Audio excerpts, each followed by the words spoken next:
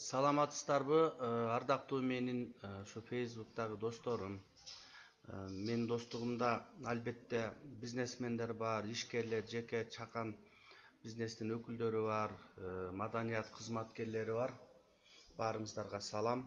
Мен бүгүн көптөн бери э, көкүрөктү өйүп жүргөн бир маселеге кайрылгым келип отурат. Сиздер менен бөлүшүп сиздер менен кеңешип. Жана ошондой эле ушу азыркы менин айткан нерселерим өкмөт мүчөлөрүнө премьер министрге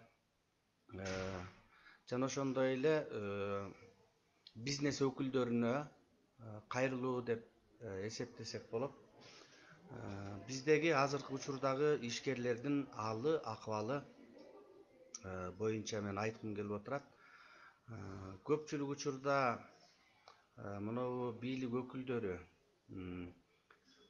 мисалы мекеме жетекчилери азыркы учурдагы жанагы могу тендер деген балекетибиз барго ошол тендерлер боюнча кичине пикирлерди бөлүшүп премьер министрдин кулагына күмүш сырга кылып айткым келип отурат. Улукбек мырза сизге дагы ушул кулагыңызга күмүш сырга. Азыркы учурда акыбал кандай муну ачыгын эч ким айтпайт мен ачыгын эле айткым келип отурат. Азыр бир жерде тендерге катышса ишкерлер баягы эле кол ирисине тартып мамлекетке зыян келип атабы келбей атпайбы аны менен иши жок булар өзүнө өздөрүнө тиешелүү фирмаларга жанагы тендерди ыйгарып коюу фактылары аябай күчөдү бул боюнча атайын министерство каржы министрлигиндеги атайын межведомственный комиссия деп коет ошол комиссияга кайрылсак азыр ал комиссия иштебей калганбы же иштегиси келбейби алар эч качан сенин арызыңды карабайт мамлекетке зыян келтирип аткан фирмаларга ошол тендерди чечип берип коюп атышат да бул маселе аябай уурчундуу маселе азыр. Эч кимди эч ким уруп ойнобойт айтсаң айткандын оозу жаман ыйлагандын көзү жаман болуп атышат бизде ишкерлерди колдойлу деп буга чейинки президенттер деле азыркы садыр нуркожоевич деле жакшы шарттарды түзгүсү келип атат бирок ошол айткан нерселер аткарылбай келет да аткарылбай келет мисалы бир кичинекей чакан бизнес ачуу үчүн мен билем беш алты жыл мурун мүмкүн он жыл болуп калды окшойт албетте ал учурда заман башка эле бир чакан чач тараш ачыш үчүн бир чакан чач тараш ачыш үчүн эки ай убактыңды документтерин топтоого жанагындай мыйзамдуу документтерин алыш үчүн жүгүрөсүң ошол эле чач тарашка светти могу электр энергиясын киргизүү үчүн толук бир ай жүгүрүп жүрүп эптеп бүтүрөсүң ушуга окшогон нерселер үчүн каяктан анан биздин чакан жана орто бизнес чоң бизнестерибиз өнүгөт деген маселе болуп атат да. Ошон үчүн азыр арманыңды айта турган жер калбайт жер калбай калды. Ошон үчүн айтайын дегеним урматтуу премьер министр улук мырза сизден сураныч ушул бир же сайтпы же бир атайын ишеним телефонбу уюштурбасаңыз уюштуруп бербесеңиз могу ишкерлерге болбой калды.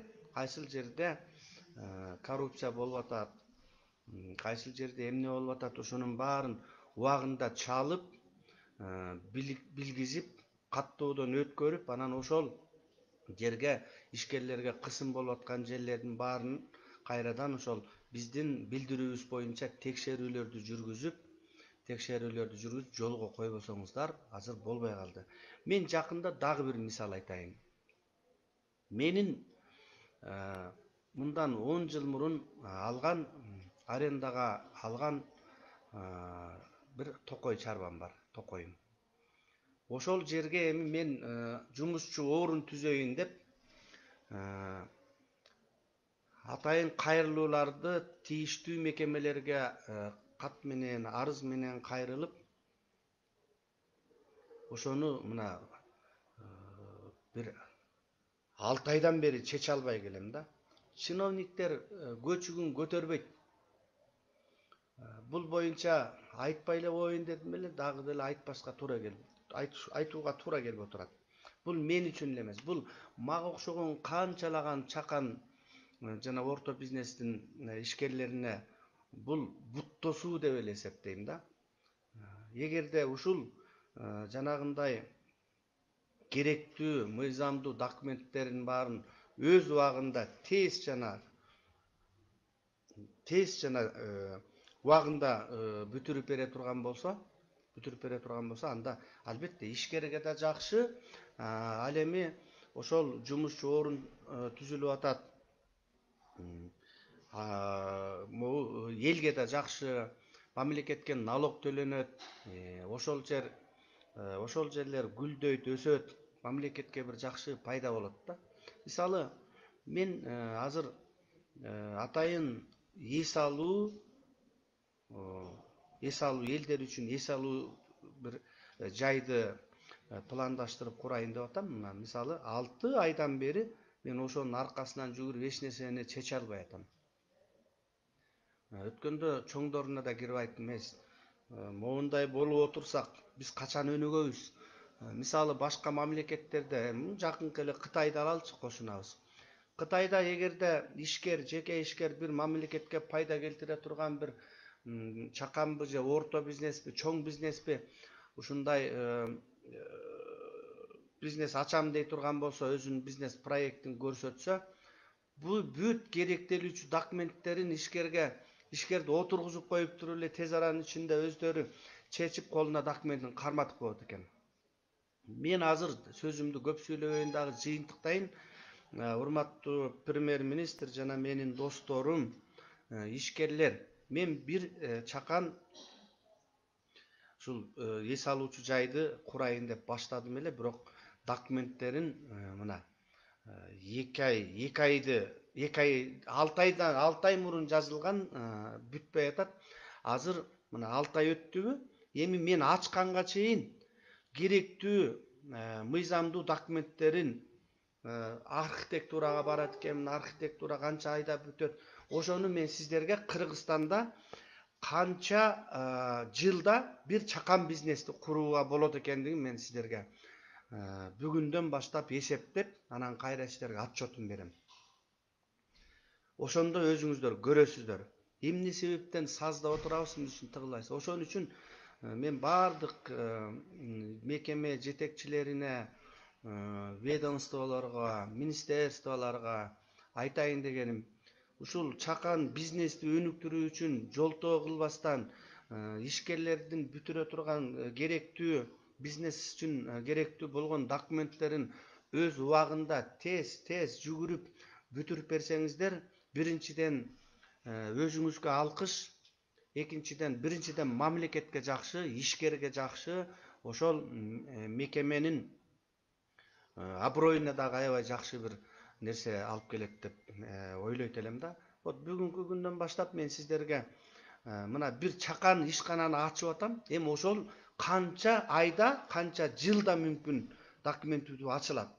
Ошону санап туруп кайра мен сиздерге түз эфирге чыгып ошонун отчетун берем.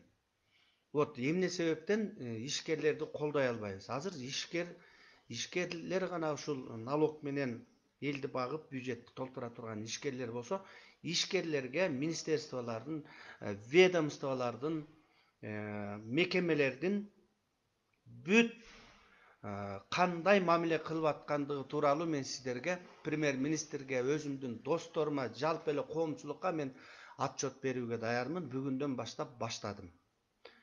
Көңүл бурганыңыздар үчүн рахмат. Ишкерлерге чоң ийгилик каалайм. Өлкөбүздө өнүгүү болсун.